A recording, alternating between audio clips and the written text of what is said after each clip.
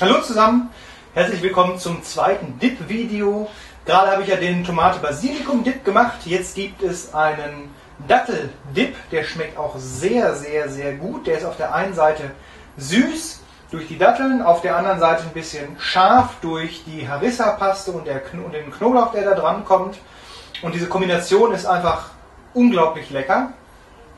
Das Rezept hat mir die Thermifee mal zugeschickt. Sie hat selbst noch nicht verfilmt. Ich habe sie gerade gefragt, ob ich das denn verfilmen dürfte. Und da hat sie gesagt, na sicher. Und deswegen mache ich das jetzt. Und dabei wünsche ich euch viel Spaß.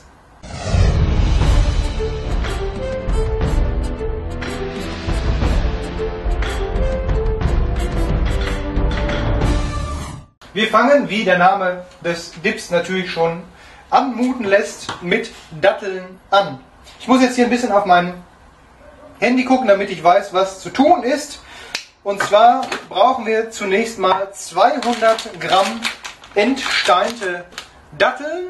Das ist jetzt hier aus dem Rewe von der Firma Seeberger. Da könnt ihr natürlich auch alles nehmen, was es da sonst noch gibt. Das waren aber jetzt, glaube ich, die einzigen, die da im Regal standen. Und da brauchen wir halt jetzt die kompletten 200 Gramm. Entsteint, aber natürlich wichtig. So, dann kommt noch hinzu eine Knoblauchzehe. Da nehmen wir allerdings jetzt den Knoblauchgrundstock. Da habe ich gerade hier die Löffel gespült. Die trockne ich nur noch mal eben kurz ab, weil nämlich der Löffelverbrauch, der Teelöffelverbrauch insbesondere, ist hier beim Kochen unglaublich, äh, unglaublich groß. Habt ihr das auch, dass ihr so viele Löffel immer braucht zum Abmessen und sowas alles? Also ist ganz, ganz schlimm bei mir. Da kommt jetzt ein Löffel, ruhig ein guter Löffel äh, dran. Wenn ihr die Paste nicht habt, nehmt ihr einfach eine Knoblauchzehe. Das ist auch kein Problem. Das Ganze wird jetzt vermischt. Jetzt muss ich aber eben nochmal nachgucken hier. Und zwar 8 Sekunden Stufe 10, beziehungsweise nicht vermischt, zerkleinert wird das jetzt. 8 Sekunden Stufe äh, 10.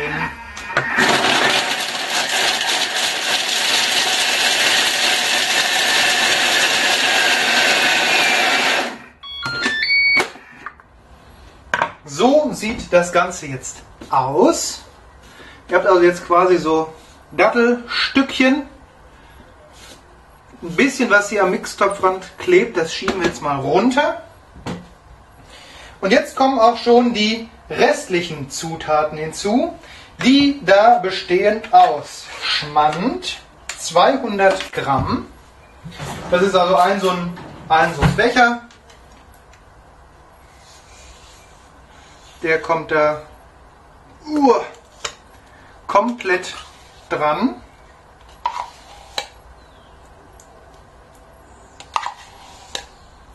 Ihr könnt wahrscheinlich, wenn ihr das ein bisschen leichter haben wollt, also im Sinne von Kalorien leichter, ähm, anstatt dem Schmand Frischkäse, ähm, ach, Frischkäse sage ich schon, ähm, Creme Fraiche nehmen, beziehungsweise dann Creme, Creme Leicht, gibt es ja da auch, so eine fettreduzierte. Das ist alles kein Problem. Natürlich ist Fett ein Geschmacksträger, aber wenn ihr da äh, fettbedacht dran gehen wollt, dann könnt ihr das auch ruhig ähm, austauschen. Dann kommen noch 200 Gramm Frischkäse hinzu.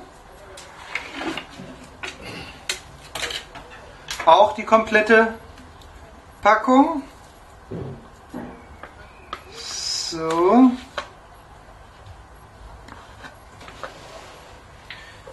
Und dann kommen jetzt noch die Gewürze. Jetzt muss ich wieder nachgucken einen Teelöffel Harissa-Paste. Die sieht so aus, die habe ich erst gesucht im äh, Rewe, habe sie dann bei, äh, erst durch Nachfragen gefunden. Die stand in dieser Asia-Abteilung. Äh, da kommt jetzt ein Teelöffel von dran.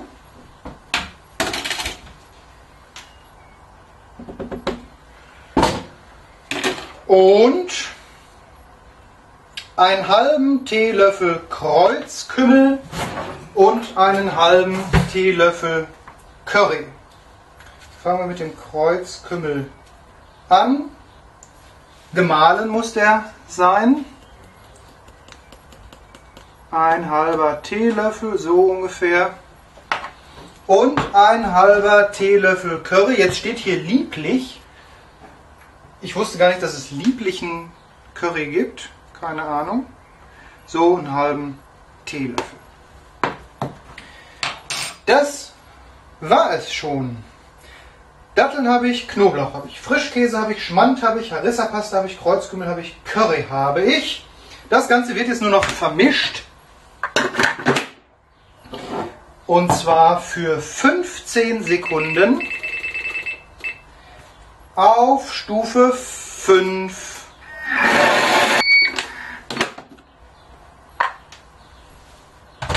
Wir schieben mal hier, was noch am Mixtopfrand klebt, etwas herunter. Mal gucken, ob wir das dann nochmal vermischen müssen. Ich glaube aber nicht. Nö. Nein. Das, das reicht.